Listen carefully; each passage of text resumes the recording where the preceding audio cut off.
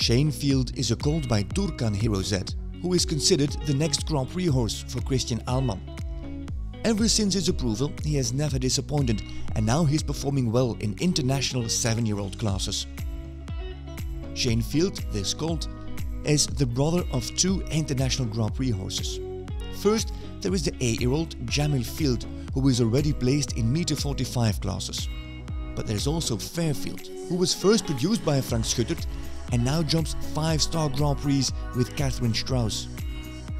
Sisters of the Dam Bikina Field have brought the successful young horses Sir Landor of Hannah Metzeler and Jikina Field of Andrea Messersi